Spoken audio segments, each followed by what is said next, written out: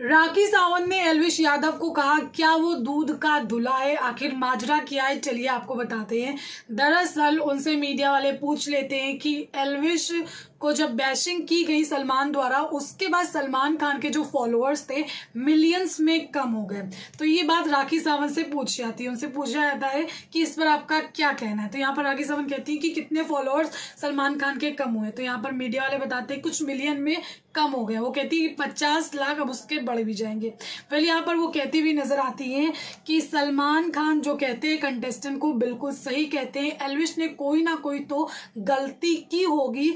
तभी उसको डांट मिली। है साथ ही वो कहती है कि राखी सावन की भी सलमान खान ने बैंड बजाई है तो एलविश क्या है? एलविश कौन से दूध के धुले हैं?